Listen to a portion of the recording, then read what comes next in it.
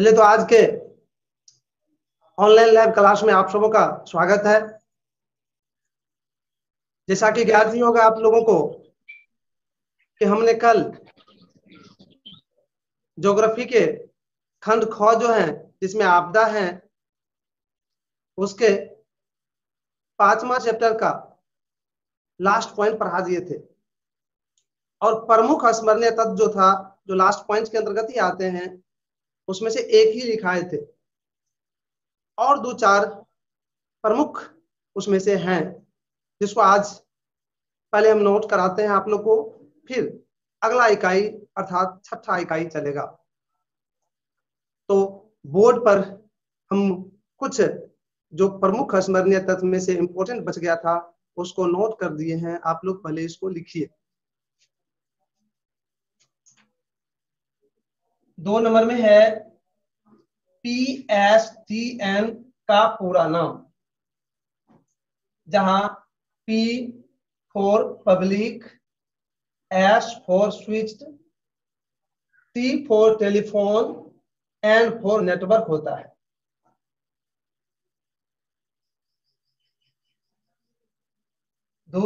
तीसरा है, कुशहा के पास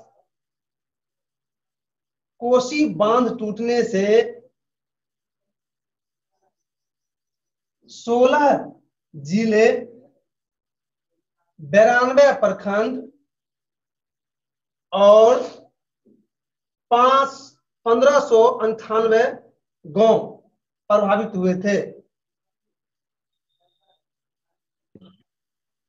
सर दो नंबर में क्या है सर? चौथा। अब चौथा लिखिए। भारत के छप्पन प्रतिशत भूभाग भूकंप प्रभावित है।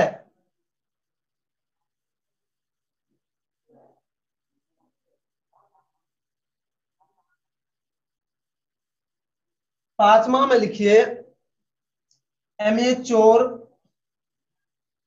का अर्थ गैर वाणिज्यक परियोजना के लिए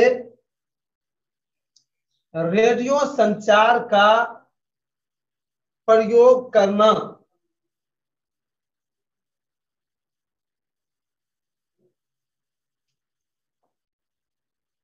छठा नंबर में लिखिए, भारत में दूरदर्शन, मौसम, विज्ञान और आपदा संबंधी चेतावनी देने के लिए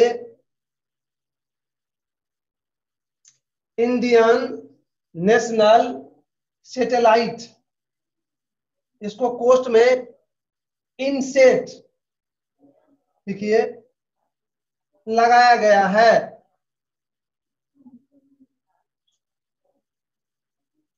सतमा नंबर में लिखिए।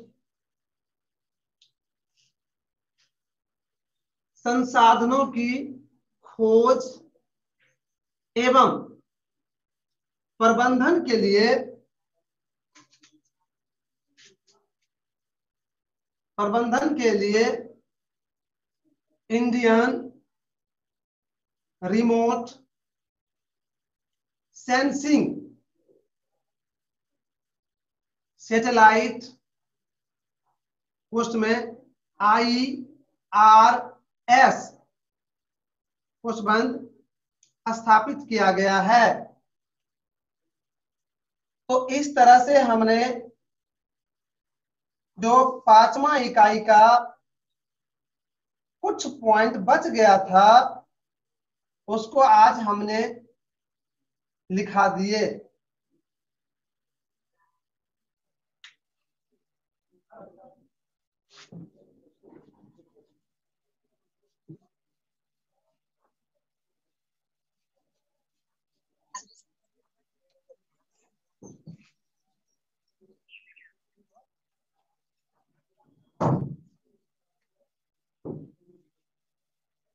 तो अगला चैप्टर है इकाई छ का नाम है आपदा और स्वास्तित्व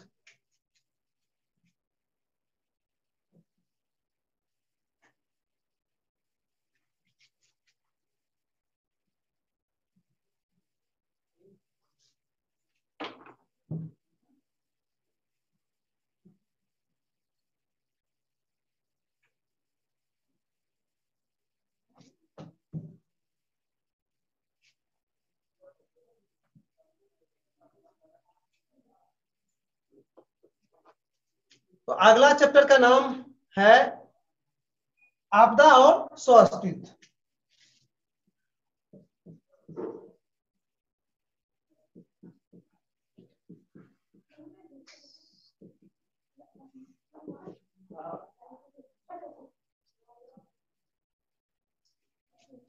तो एक बार आपदा का स्व अस्तित्व का क्या मतलब होता है? उसको पहले आप लोग समझ लीजिए। फिर इसका जो इंपॉर्टेंट पॉइंट है वो हम आप बताए वो बताएँगे। पहले देखिए आपदा आप लोग जान ही चुके हैं कि जो बिना सूचना दिए जो घटना उपस्थित होती, होती है उसी को आपदा कहा जाता है। स्व अस्तित्व होता है स्व अस्तित्व का मतलब होता है किसी का अस्तित्व किसी का अस्तित्व। या उसका क्षमता।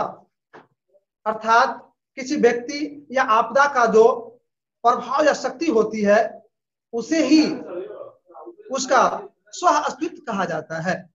अब हम लोग इंपॉर्टेंट पॉइंट इसका जो है, उसको लिखाते हैं। एक नंबर में लिखिए, भूकंप का स्व अस्तित्व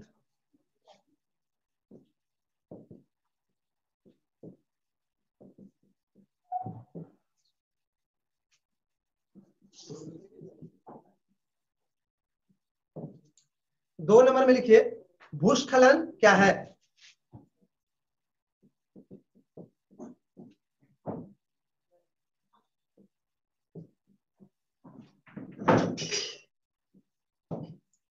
तीन नंबर में लिखिए भूस्खलन का स्व अस्तित्व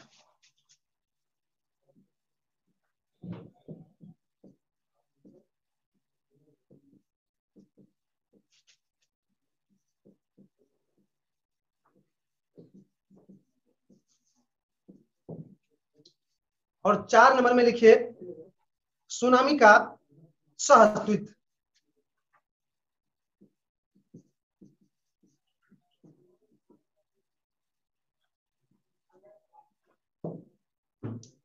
पाँच नंबर में लिखिए, सुनामी क्षेत्र के सॉरी सुनामी क्षेत्र में गृह निर्माण।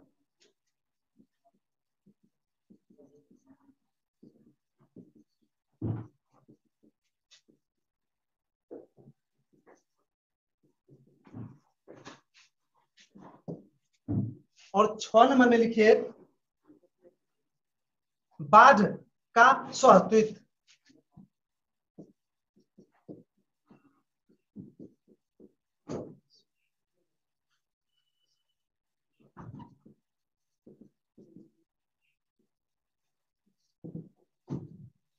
और सात नंबर में लिखिए, सुखार का स्वहस्तित्व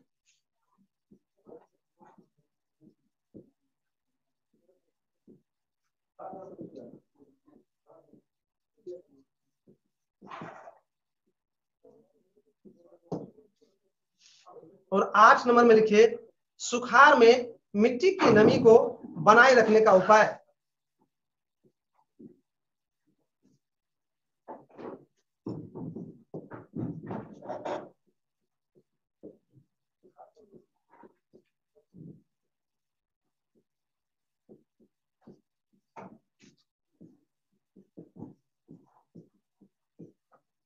सर, सात नंबर में क्या लिखे हैं?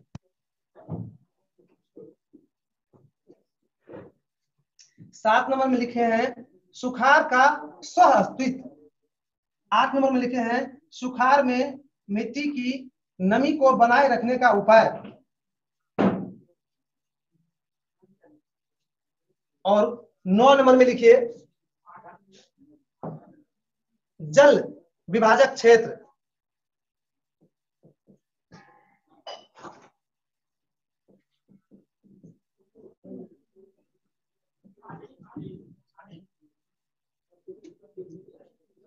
जल विभाजक क्षेत्र।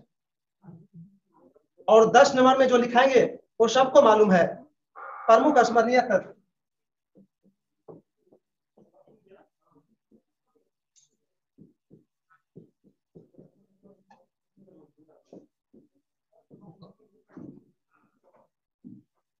इसको आप लोग नोट कर लीजिए।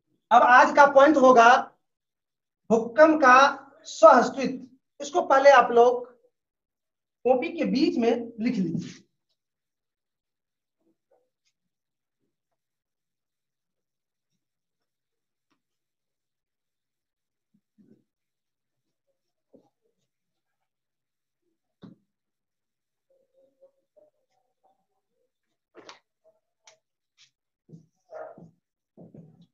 भूकंप का सह अस्तित्व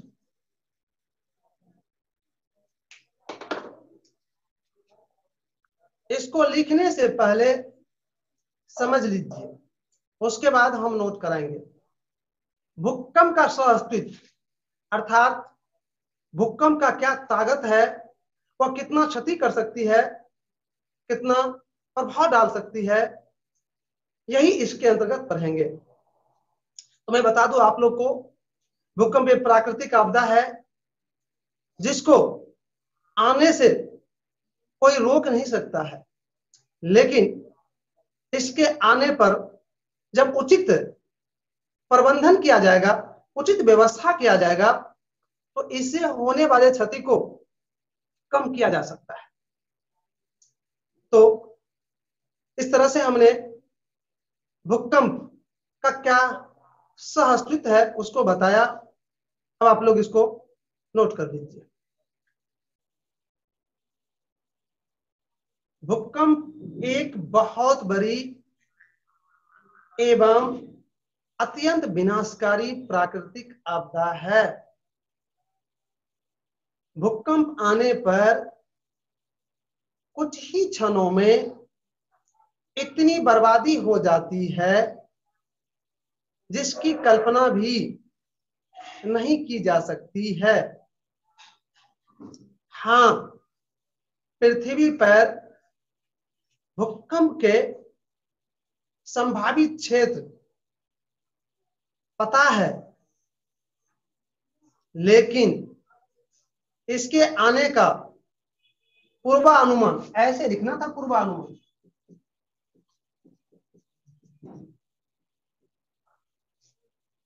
पूर्वानुमान नहीं लगाया जा सकता है। अतः भूकंप संभावित क्षेत्र में हमेशा सतर्क रहना चाहिए। तो हमने भूकंप का अस्तित्व क्या है, उसको बताया और लिखाया भी। अब आप लोग को इस पर कहीं भी डाउट है तो क्वेश्चन कर सकते हैं। सर पूर्वानुमान किसे कहते हैं? पूर्वानुमान का मतलब हुआ पहले अनुमान लगा लेना। विनाशकारी सर क्या है? अरे विनाशकारी का मतलब हुआ कि बहुत प्रभाव डालने वाला अधिक बर्बाद करने वाला उसी को विनाशकारी कहा जाता है। ठीक है सर। आज का समय समाप्त हो रहा है। आज का क्लास यही तक